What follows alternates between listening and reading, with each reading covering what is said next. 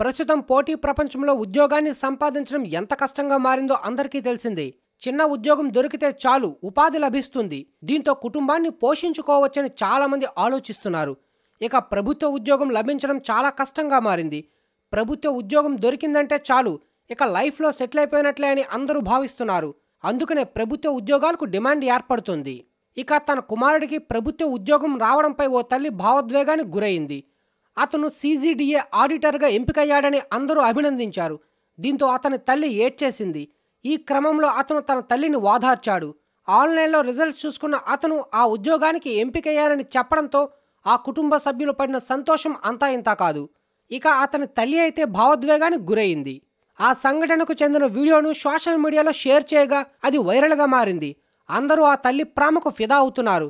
తన కుమారుడికి ప్రభుత్వ ఉద్యోగం వచ్చినందుకు ఆ తల్లి పడ్డ ఆనందాన్ని కురిపించిన ఆనంద భాష్పాలను చూసి చాలామంది కామెంట్లు చేస్తున్నారు. తల్లి ప్రామంటే అదేనని కుమారుడికి ప్రభుత్వ ఉద్యోగం దొరకడం కన్నా మించింది ఇక తల్లిదండ్రులకు ఏముంటుంది అని కామెంట్లు చేస్తున్నారు. ఇప్పటికే ఈ వీడియో లక్షల కొద్ది వ్యూస్ వచ్చాయి. ఇదే విషయం ఇలాంటి మరిన్ని లేటెస్ట్ అప్డేట్స్ కోసం ఐ లవ్ యూ రజా ఛానల్ని సబ్స్క్రైబ్ చేసుకోవడం మర్చిపోవద్దు. Thanks for watching.